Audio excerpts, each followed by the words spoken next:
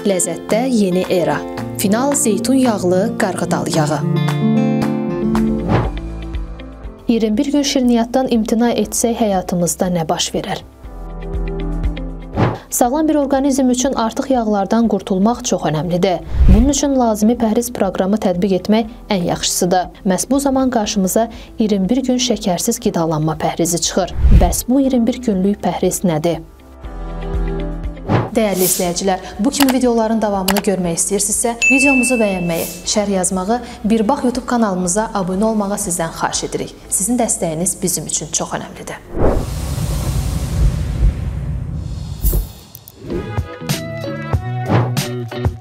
Adi karbohidratları tamamilə həyatımızdan çıxarmağı hədəfləyən 21 gün pəhrizi proqramı arıqlaya bilməyənlərin deyərdim yeganə yoludur. Təbii ki, şəkərdən imtina etmək düzgün deyil, amma müəyyən müddət onun istifadəsini dayandırmaqla sağlam həyat tərzi keçirmək mümkündür. Orqanizmin ehtiyacı olan qidaları və lifləri qəbul etmək üçün ən təbii şəkər qaynağı meyvələrdir.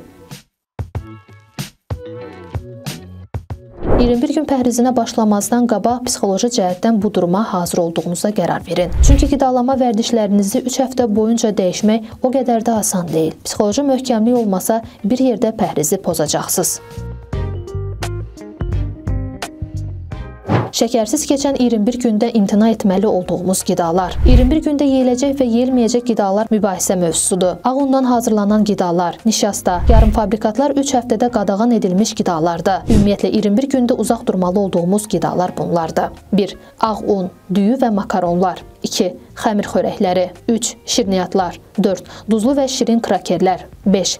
Emala məruz qalmış qidalar 6. Yarım bişmiş makaronlar 7. Dondurulmuş salatlar 8. Dondurma 9. İçərisində şəkər olan qidalar 10. Nişasta ilə zəngin olan qidalar 11. Hazır meyvə şirələri 12. Kola və qazlı içkilər 13. Kokteyllər 14. İsti şokolad 15. Aromalı kofelər və yağlı südlər. 16. Şəkərlə dadlandırılmış içkilər. Şəkərsiz keçən 21 gündə yeməli olduğumuz qidalar. 21 gün pəhrizində hansı qidalara üstünlük verməyin lazım olduğu da mübahisələr yaradır.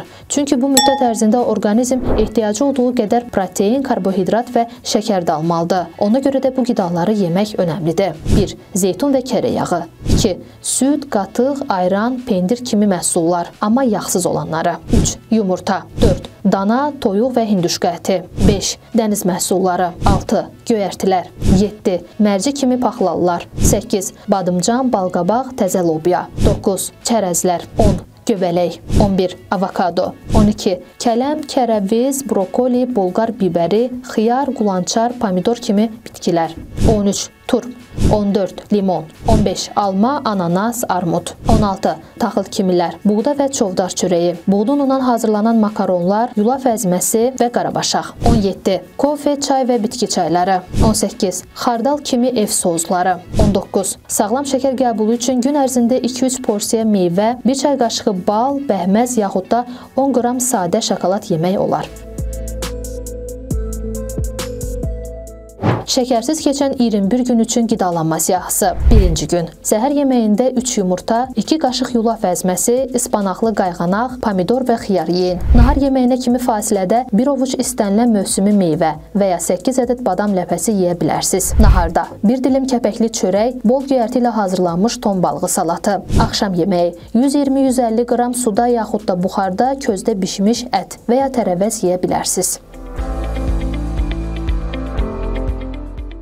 İkinci gün səhər yeməyində bir dilim buğda çörəyi, bir ədəd soyutma yumurta, bol göyərti və 2 ədəd qoz ləpəsi yeyin. Atışdırmalıq olaraq nahara kimi bir ədəd yaşıl alma yemək olar. Nahar fasiləsində limon suyu, zeytun yağı, duz və sarımsaq əlavə edilmiş noxud püresi, həmçinin kələm salatı və soyutma dana əti yeyə bilərsiniz. Axşam yeməyində isə 3 qaşıq qarabaşaq, 100 qram soyutma toyuq əti və 1 stəkan ayran içə bilərsiniz.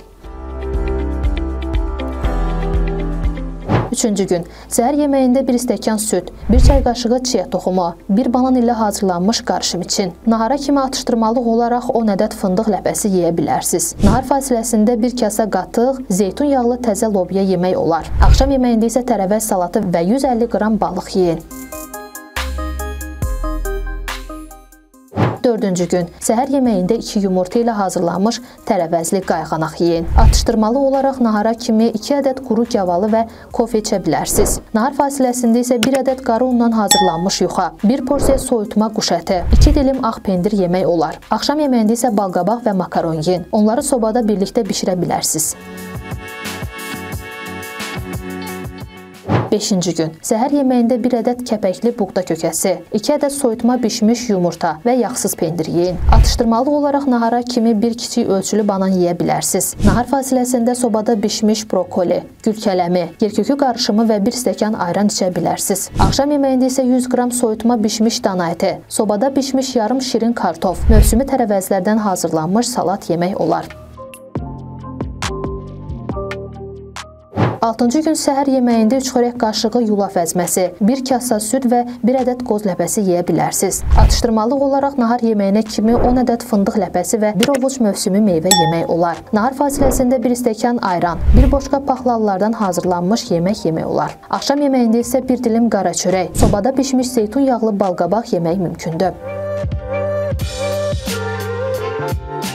7-ci gün isə səhər yeməyində bol göyərtili, göbələkli qayğanaq yeyin. Atışdırmalı olaraq nahara kimi bir fincan südlü kofe içə bilərsiniz, amma çalışın ki, süd yağlı olmasın. Nahar fasiləsində isə yarım avokado, 4 ədəd salxım pomidor yeyin. Axşam yeməyində isə bol göyərtili salat, 100-150 qram ət, 1 stəkan ayran içə bilərsiniz. Bu pəhrizi 21 gün müddətində edin. Çalışın ki, pəhrizdən kənara çıxmayasınız. Sürətli şəkildə arıqladığınızın və orqanizminizin sağlam qaldığını görəcəksiniz. Bütün hallarda çalışın ki, sağlam olasınız. Belə dəyərli izləyicilər, bu günlükdə Bir Bax kanalından bu qədər. Bu kimi videoların davamı üçün videomuzu bəyənməyi, paylaşmalı və Bir Bax YouTube kanalımıza abunə olmağı unutmayın. Növbəti videolarımızda görüşənədək hələlik.